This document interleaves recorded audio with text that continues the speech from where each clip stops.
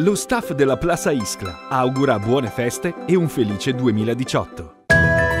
In montagna c'è voglia di sci. Lo confermano i numeri fatti registrare questo fine settimana sulle piste dei comprensori valtellinesi, ufficialmente aperti dallo scorso weekend da Livigno Madesimo. A fare la parte del leone è proprio il piccolo Tibet, che fra sabato e domenica ha contato ben 4.600 ingressi alle sciovie.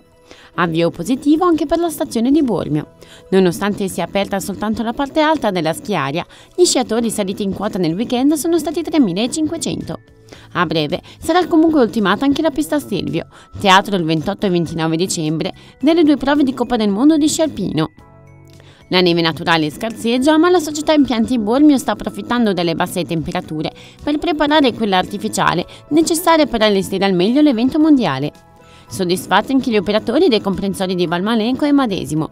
Riscontri positivi anche in Abrica, dove gli sciatori hanno la possibilità di acquistare lo ski pass che permette l'accesso anche al vicino comprensorio della Damello Ski Ponte di Legno, già aperto da fine novembre.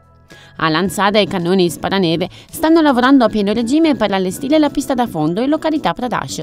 L'obiettivo è di realizzare per l'Immacolata un anello illuminato di almeno 500 metri. La neve è stata sparata completamente, dichiara il sindaco Marco Negrini. Ieri sera è stata spalmata sulla pista e se le temperature lo consentono, forse potremo aprire anche giovedì. Grazie ad un accordo con la Polisportiva Valmalenco, l'accesso alla pista sarà consentito anche nelle ore serali, dalle 17 alle 23, per permettere a chiunque di usufruire della pista. L'ingresso è gratuito. Per l'8 dicembre si prepara ad aprire i battenti anche il tracciato nordico Viola in Val di Dentro. E in occasione del Ponte dell'Immacolata non si parla solo di sci.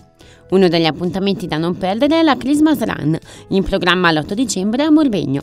La tradizionale corsa di Babbo Natale a cura dell'associazione Enjoy Valtellina consentirà di raccogliere fondi a favore dei progetti solidali del gruppo.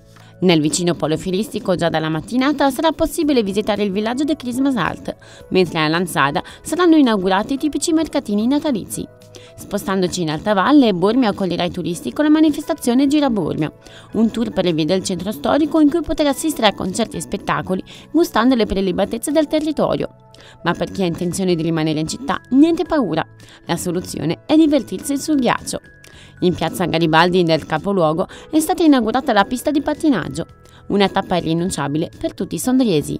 Un'opportunità che deve essere assolutamente per tutti, dunque per divertirsi, per eh, avere un'occasione per cimentarsi con un nuovo sport, per trascorrere alcune ore in compagnia e in allegria e l'importante è che non ci siano eh, gesti di prepotenza, che non ci siano gesti di prevaricazione e questo secondo me può essere anche utile per l'educazione sportiva dei nostri ragazzi.